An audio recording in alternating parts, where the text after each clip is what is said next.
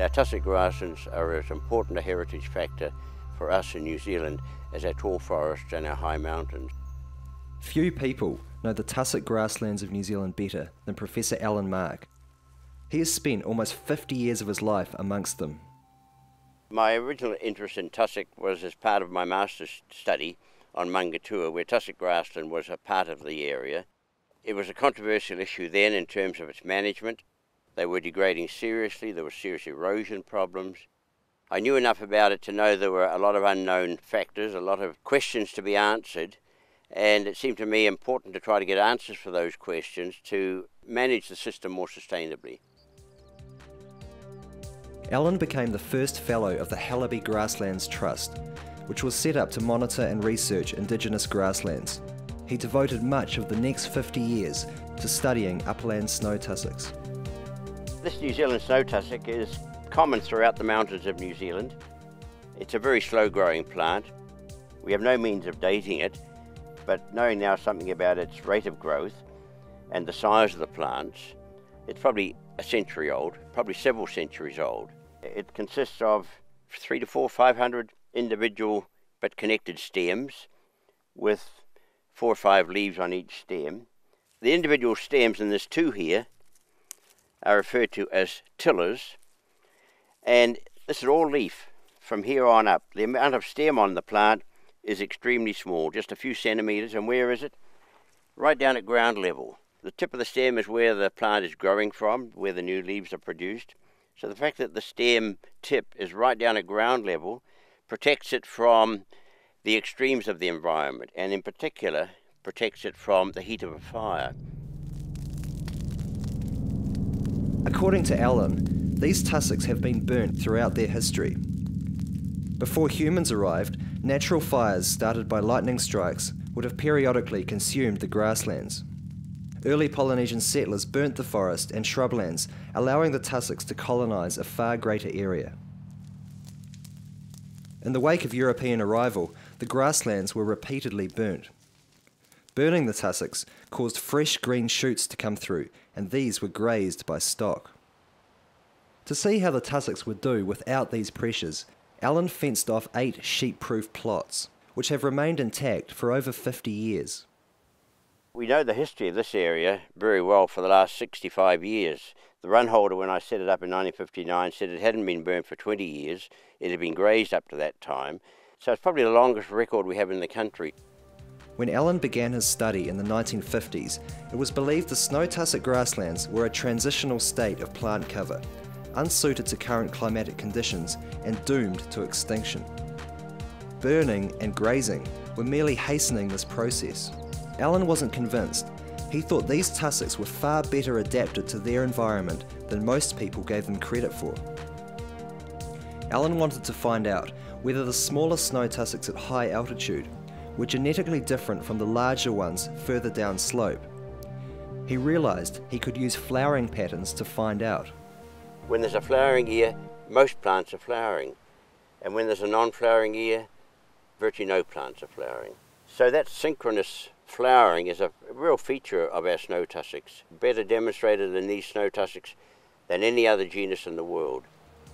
Alan observed that temperature differences were the trigger for flowering. By relocating tussocks up or down the mountain, he would see how they reacted to conditions at different altitudes. I took 20 plants from each of these plots, cut the plants into five sections, cloned them in other words, planted one section back to its own site, took the other sections to the other three sites, and one to Dunedin at sea level. In a flowering year, the pieces shifted back to their own site flowered with the local population. Plants shifted to lower altitudes flowered every year. But interestingly, intriguingly, the ones I moved up in altitude to a colder site never flowered.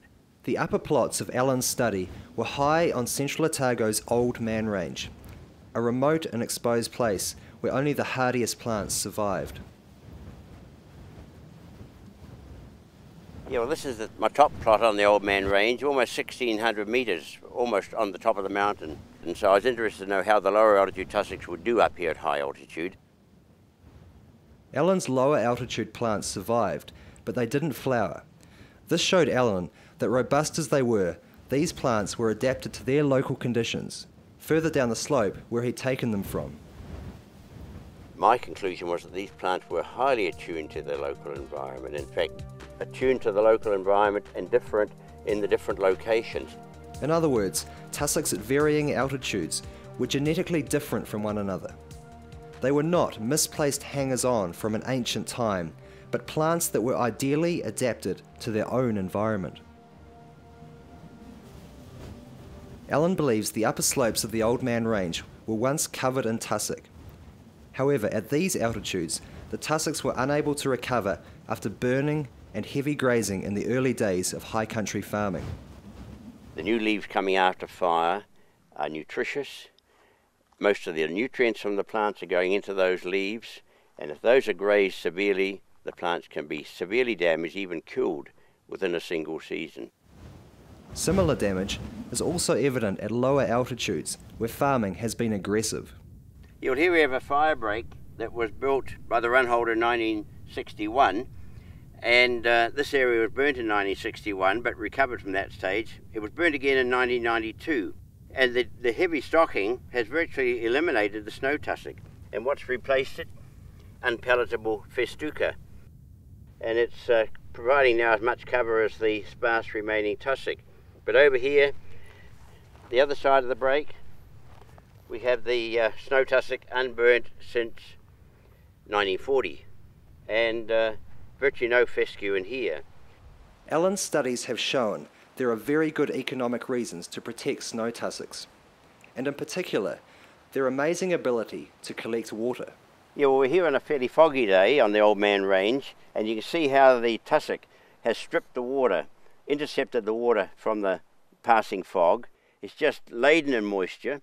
Those drops are running down the leaf, down the channels of the leaf, into the base of the plant. And you see how the leaf is channeled here. It's like a, a U shape, and the water runs down the furrows of the leaf, right into the very base, right down into to the where the stems are at ground level. Very little material there to trap the water. Most of it goes straight into the ground and uh, increases the soil moisture, and that most of that water becomes available then for water yield.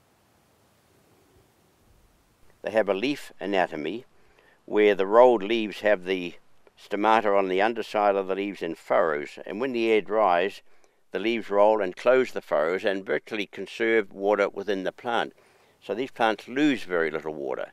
Studies have shown a single tussock can collect up to half a litre of water every hour from fog alone.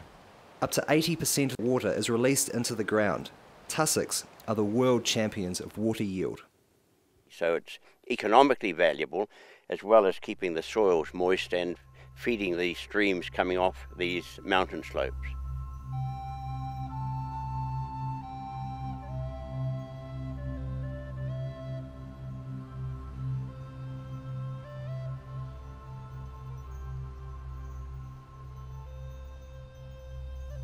Tussock grasslands of New Zealand are recognised around the world as something special, unique to New Zealand.